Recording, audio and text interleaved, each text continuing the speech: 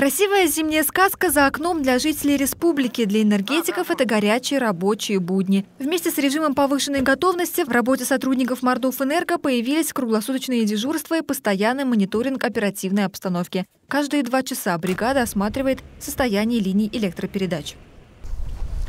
Волна, прием, волна линейщикам. А, приехали на линию 110 киловольт Саранский центр для проведения осмотра линий. Прошло решение инструктажа допуска моей бригады для осмотра линии 110 киловатт Саранский центр а, с отпайкой, с отпайками.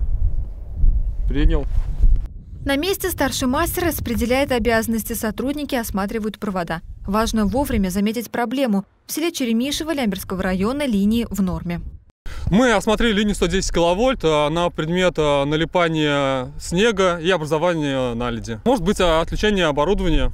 Погода переменчивая, и именно перепады температур могут стать причиной нарушения электроснабжения потребителей. А отключение света не хочется никому. Режим повышенной готовности вводится при неблагоприятных метеоявлениях. По словам главного инженера, за последние дни обрывов проводов, замыканий и отключений электроэнергии на обслуживаемой территории не происходило. В частности, благодаря полномерной профилактической работе. В этом году были крупномасштабные учения, которые значит, заключались это в, в расчистке трасс э, линий электропередач.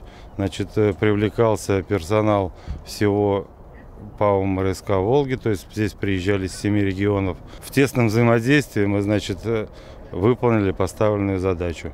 Было спилено и расчищено 660 гектар, скажем так, древесно-кустарниковой растительности. Энергетики взаимодействуют с администрациями районов Мордовии, а также предупреждают жителей республики. Если вы станете свидетелем обрыва проводов, не приближайтесь к ним. Для оперативного устранения перебоев в электроснабжении позвоните по бесплатному телефону горячей линии или сообщите о перебоях электроснабжения с помощью интернет-портала светлая страна.рф. Марина Солонина, Сергей Соколов. Народные новости.